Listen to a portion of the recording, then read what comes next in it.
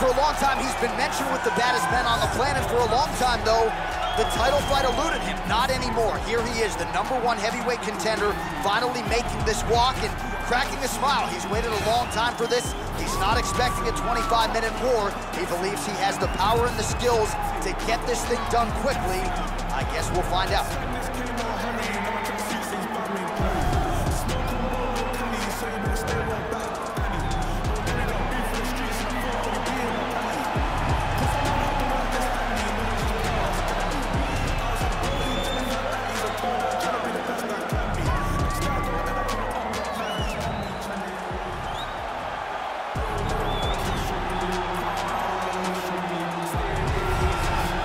Lot of people think it's the most significant title in combat sports. No argument from me. Baddest man on the planet, UFC heavyweight champion. There he is in the flesh. What an absolute monster. What a title reign it has been. But a serious challenge in front of him here tonight. When this man became the heavyweight champion, a lot of people thought that this challenger was the one who would wrest the belt away. Now the fight is here. We'll see if we get a new champion or if this man continues one of the greatest heavyweight legacies the Octagon has ever seen.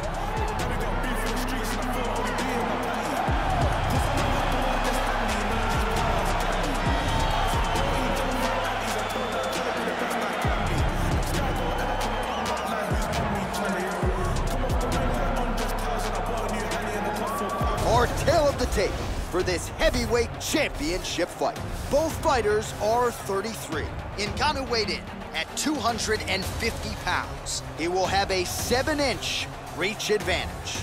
And now for the official introductions, we go inside the octagon where we find the venerable Bruce Buffer. Ladies and gentlemen, this is the main event of the evening. And when the action begins, our referee in charge of the Octagon, Dan Miragliotta. And now, this is the moment UFC fans around the world have been waiting for. Live from the MGM Grand Garden Arena in Las Vegas. It's time! Five rounds for the undisputed UFC Heavyweight Championship of the World. Introducing first, fighting out of the blue corner. This man is a wrestler, holding a professional record of 19 wins, one loss. He stands six feet tall, weighing in at 170 pounds, fighting out of Boca Raton, Florida, presenting the challenger, Kamaru, the Nigerian Nightmare Usman. And now, introducing the champion, fighting out of the red corner.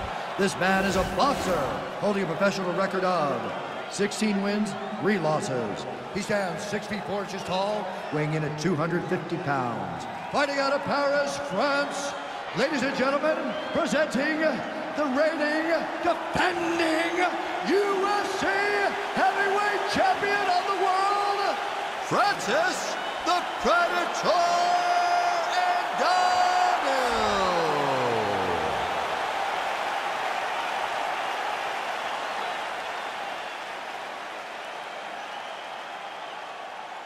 All this is for the UFC Championship. I want you to obey my commands at all times, protect yourself at all times. I want a nice, clean, safe fight. Touch gloves, back your corners, fight.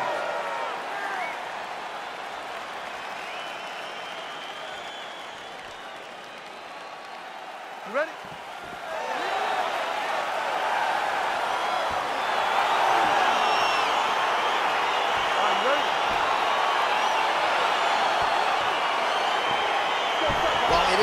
21st of May, and if you don't know what that means, then maybe you're not as big a UFC fan as you thought. It's Bruce Buffer's birthday. It's a national holiday. Bruce Buffer's birthday is a national holiday, and every year he turns 21 years old.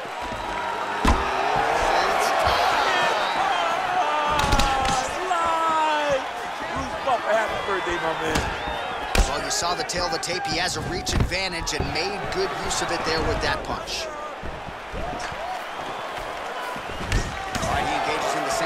tie.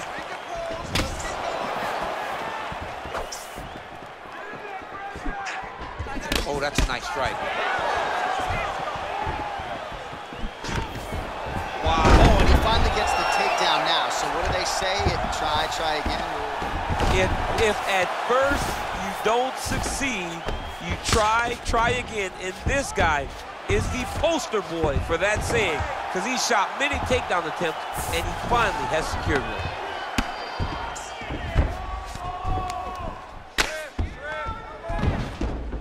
All right, so he postures up here and now figures to rain down some ground strikes. Yeah, the ground and pound will be a plenty from this position.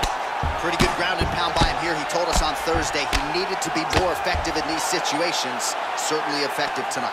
Many people have gone away from this style of fighting. This man has embraced it, and you are seeing why he's one of the best that we've seen do it in a long time.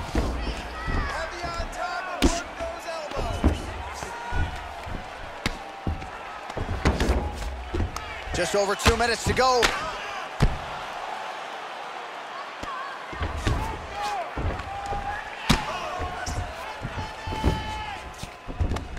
Oh, nice job using his strength there to posture up. We'll see what he can do now. He's going to start looking to land big shots from the top. All right, so inside the open guard of his opponent. Got to be careful playing around for too long here on the ground with this guy. Well, these are some excellent ground and pound strikes here, DC. There's an efficiency with which he operates in these situations. He knows exactly when to throw, exactly when to hold, and it's allowing him to really control the grappling aspect of the fight. There's a song there, right? Know when to hold him, know, know when, when, to hold him. Yep, absolutely. Go. All right, he's trying to control posture here. Now trying to hip escape. He's just trying to move out of this position off the bottom. All right, well, both fighters pretty comfortable on the ground, DC, but you got to be very careful hanging out here for too long if you're his opponent. He's having his way with him here. All right, has the guard closed here. Oh, really nice work to keep busy off of his back as he lands some more offense here from Bobby. All right, he closes the distance, gets the single collar tie. Five minutes in the books.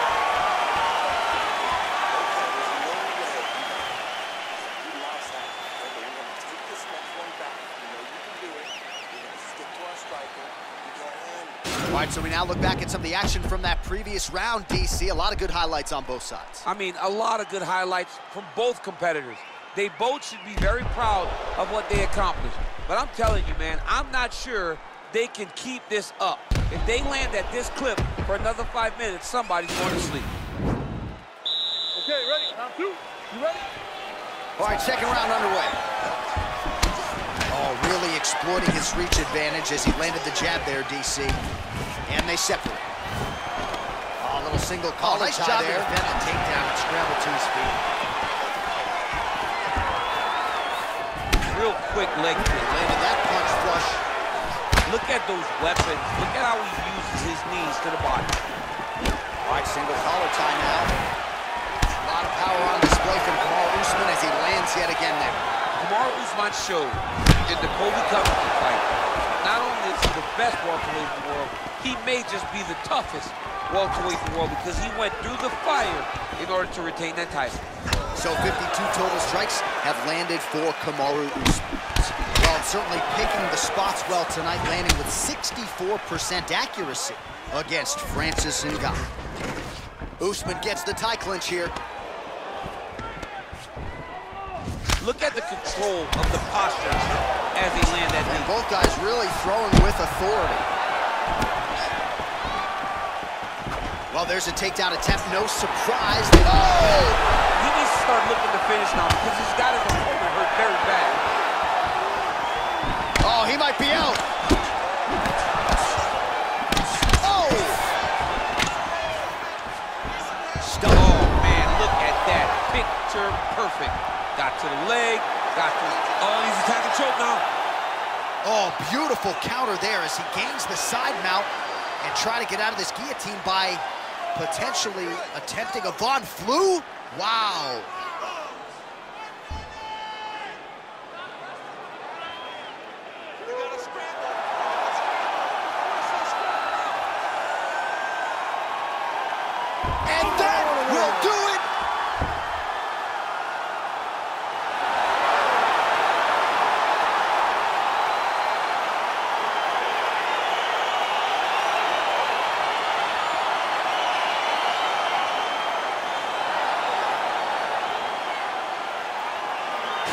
Take a look back at the replay as he gets it done by submission tonight, champ. He was able to get the fight to the ground exactly where he wanted it.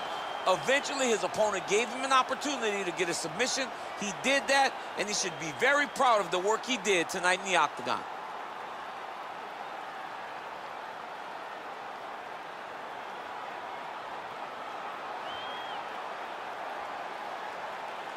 So there he is, the baddest man on the planet, UFC heavyweight champion of the world, a title that every heavyweight wants. He has it after the win by submission here tonight. He leaned on the grappling, and he got the job done in a big way. Ladies and gentlemen, referee Dan Miragliotta has called a stop to this contest at 3 minutes, 8 seconds of round number 2.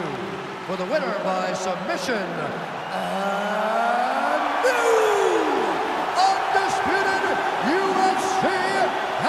champion of the world, Kamaru, the Nigerian Nightmare, Usman. So how about this? We have a new UFC heavyweight champion of the world. I think that guy beats Daniel Cormier. I think I he mean, does. this guy beats anybody. I'm telling you right now, he is the king of the world for a reason.